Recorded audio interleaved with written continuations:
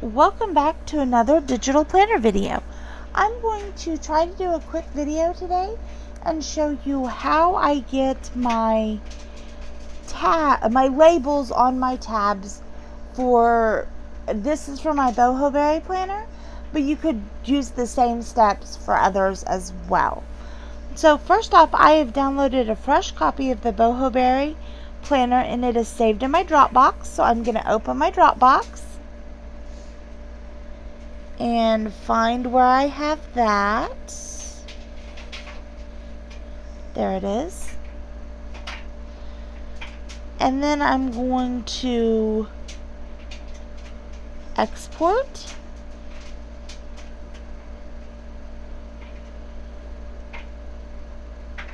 Open in. It'll give it just a minute.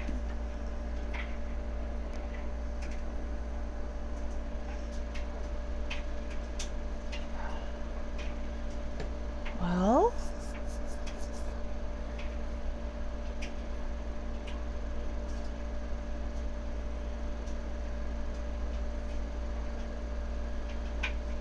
open in, copy to GoodNotes.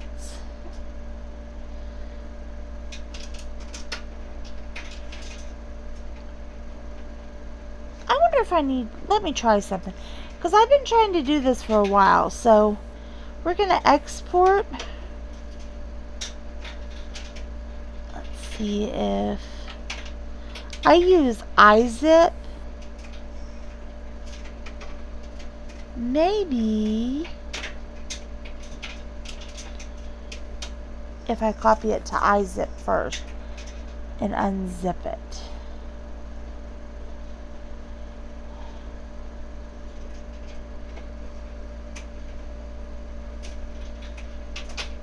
Okay. There we go. Now we're going to take it from here. Select it. Open in. Where's GoodNotes? There it is. Copy to GoodNotes. Now, I forgot to unzip it. I feel silly. So, okay. Here we are. Here's a fresh copy of the Boho Berry planner. Now, this also came with her font. So while I'm here, I'm going to go ahead and take a screenshot of this planner page. And that just helps me with my placement when I get there. So now we're going to go back to Safari. And as you see, she has her Bubbleberry font. Now, in order for me to do this, I had to buy an app called AnyFont and it was just a couple dollars. It looks like this green A here. So I'm going to open my AnyFont and I already have it installed. You see it on the list here. But um install on font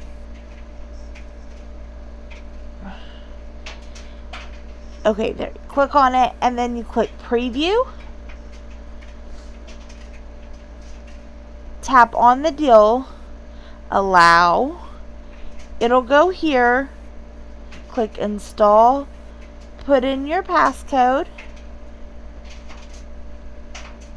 and then install again.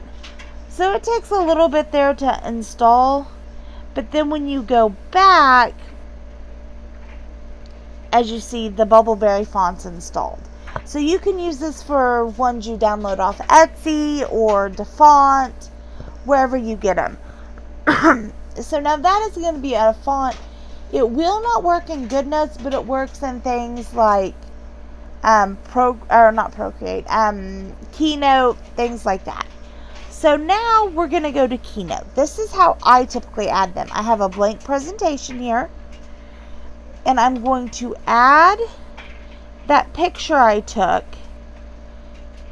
Double tap on it. So I just I'm just kind of using this as a reference of the spacing and things for the tabs. And I'll show you why in a minute. So, and then I'm going to turn it sideways to work with it.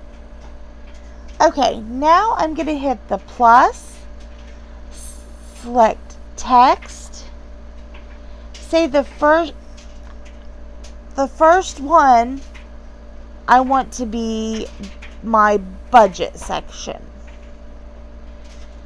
So,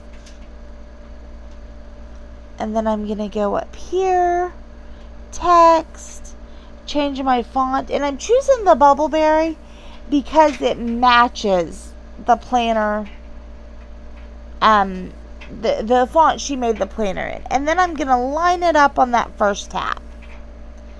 Then I'm actually going to copy it, paste it, and say the next one I want for meal planning.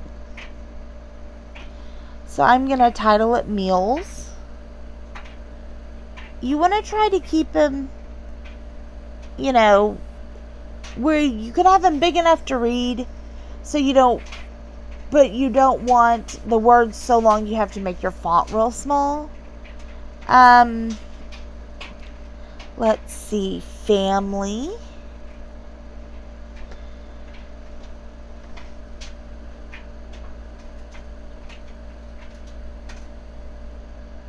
And just line it up where you want it.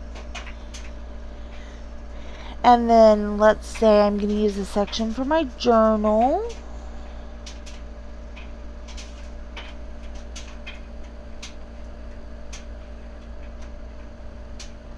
And these are just examples. You could label them whatever you wanted.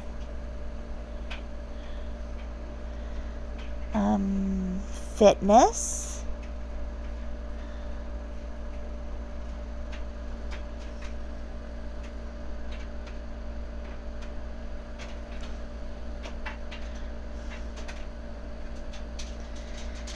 And then we'll just go with miscellaneous. Okay. So now I've chose the words I want on the tabs. Okay, what I'm going to do is click that original image and delete it because I've got my spacing. Now I'm going to tap and hold the first one and then tap each one after that so they're all highlighted and group them. And then I'm going to copy that. You have to group them first because just the font won't copy, but an image will. So if you were doing a single word, you put a um, transparent background behind it. But since I did a group of words there, now we're going to go to GoodNotes. I'm going to tap and hold, and I'm going to hit paste. Use the green handlebar to turn it, adjust my sizing.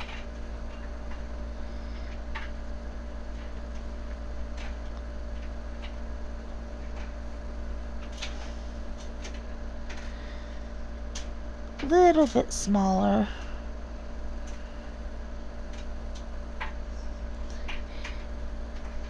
And, and it's worth the time to go ahead and kind of fuss with it and get them where you want them now. And then I'm going to use my Apple Pencil.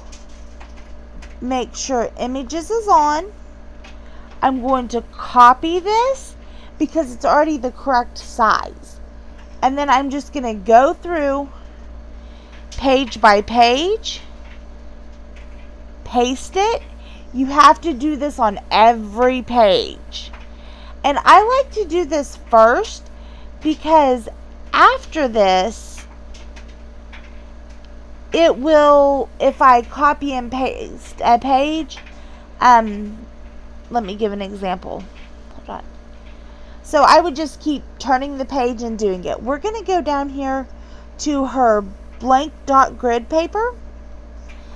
And I'm going to go ahead and paste it on here and show y'all something. So this is set up. Now, if I want to, say, add this in behind my month, you go to the four dots, edit, you want to copy, And then we're in May, so I'm going to scroll up to May. Okay, I'm going to select done. Now I'm going to select the plus icon over here and say I wanted to add the mood mandala in right behind this, which is what I've done in mine. I'm going to hit the pay, the plus and paste copied page. Now, because I already had my tabs labeled on that one, when I go to this page, it's going to keep my tabs. So unless I change my tabs, once you get up on all the pages, you're good. As you copy and paste pages and add